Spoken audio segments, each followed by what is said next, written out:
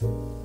Oh, hello everyone. Welcome back to the channel. Today I'm bringing you a new type of video slash series, and this is an idea that I've had for such a long time, and it's called Gather and Chat. The basic concept behind this is that I'm going to be gathering my ephemera, which is something that I do pretty often, obviously, as a mixed media artist. But yeah, gather gather my ephemera and then just kind of chat with you guys. And I thought it might be fun to just either talk about random topics, um, like I know I just asked some questions to you guys, um, some Q&A questions on Instagram and, and Twitter, and I got some really great questions that I'm definitely saving for that video, but a couple of them I thought I might have fun kind of introducing to this series where if there's a question that I get pretty often that maybe might take a little bit longer to answer, I thought that I might be able to kind of answer them in videos like this where I'm kind of going through my ephemera. And speaking of ephemera, the magazines that I'm going through here is a Lush catalog at the moment is what you're watching. I love using the Lush catalogs for ephemera because they have really great textures and colors.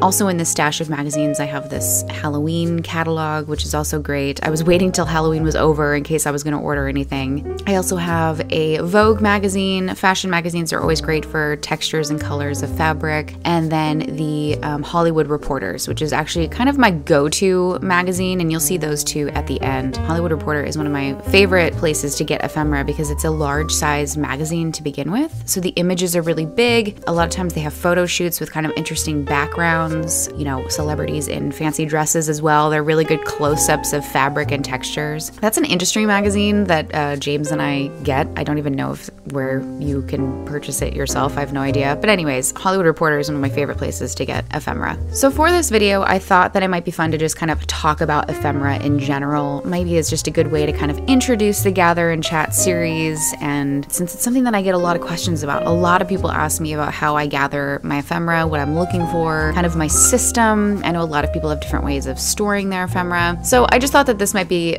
a good video to kind of talk about that. And P.S., this is another great perk of the Gather and Chat video series that I'm hoping to continue here is that you can either be watching the video or you can just kind of, uh, you know, minimize your browser window or whatever it is, or just listen basically, since it's just a voiceover. Okay, so let's talk about my ephemera process. Wow, how many times can I say ephemera in this video? My goodness. But hey, that's what we're talking about, right? First of all, when I gather my ephemera, it is separate from when I am making art. So I almost never sit down, I don't ever, um, sit down in my journal and like work in my journal or my sketchbook and then stop to like go through a magazine. So when I'm working in my journal, that is that time. And when I'm cutting out ephemera, that is that time. So it is a separate sort of process and kind of ritual almost for me than when I am making art. So it's very different. And I do that because I often find that if I am working, I don't want to mess up my flow. I don't want to be, you know, in the midst of painting something and then realizing I need a, a piece of ephemera and then stopping to go through a magazine. That's just really not productive. And it, again, it kind of interrupts that creative flow.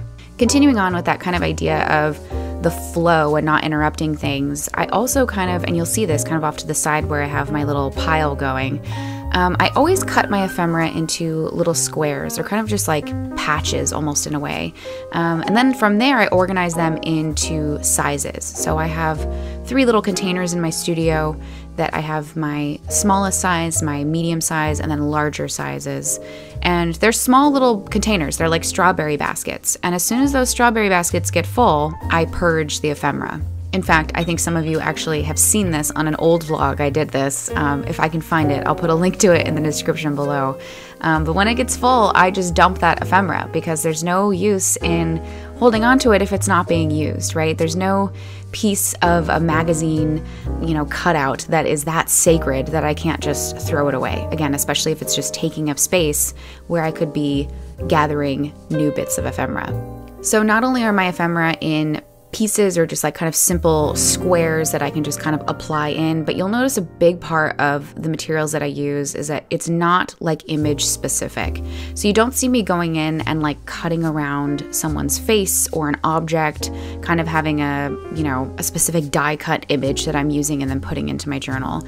And there's a couple of reasons why I do that. First of all, is that for me, I get really inspired using ephemera just based on colors and textures. So it's finding colors that maybe I don't have in a bottle of paint, finding a pattern or a texture that I wouldn't be able to create or recreate myself. Another way that I approach my ephemera too is just kind of using it as like a springboard. It's oftentimes the springboard of determining the colors that I'm using or what other kind of visual elements that I want to integrate or create or continue on. Um, some of you, if you've taken any of my online classes, you've definitely seen me kind of utilize this technique kind of directly. Um, so it's really important to me to have images that are really just focused on color and pattern. Another big component too, just obviously this is hashtag mixed media problems, is that I don't want to have to have images that I can't really super alter. So anything that I am cutting out or using, it's things that I know that I will really be able to alter or change, whether that's through paint or something that I'm drawing on top of, or I cut it up so much that it's no longer a recognizable image. That's really, really important. That's important for me not only just in my mixed media art journaling process is that I really like people to look at my work and not be able to tell what was, you know, what was pre-existing in the book, what did I add in, what did I paint. I like that kind of mystery element to it. The other part of this too, obviously, is just being a full-time artist and specifically working in, mix, in mixed media art. If I reproduce or sell my work, I don't want the imagery to be an issue. So naturally, I'm not going to be using specific photos of people or objects or these recognizable things that then I am reproducing producing. So that's very, very important, I think, in mixed media is again to have these more kind of abstract pieces and colors and patterns that you're able to really cut down and integrate into your work and layer in. Um, and then just kind of make it your own. You know, I think that that's important is finding ephemera that inspires you and that you can also really just kind of turn into your own.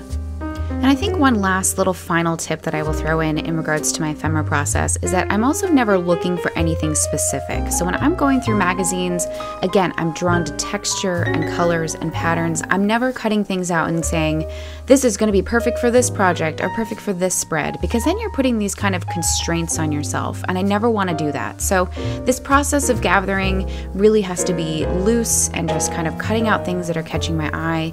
And then I have this really great assortment of things sort of here at the end. So this concludes our first episode of Gather and Chat. Let me know down in the comment section below what you guys think of this video and maybe what you'd like to hear me talk about in an upcoming episode. Um, again, I might use some of your questions that you sent in for the Q&A video. There are definitely a few that are longer that I'd love to answer in a future Gather and Chat episode, but I thought this might be a fun kind of new thing to bring to the channel. Thanks for watching.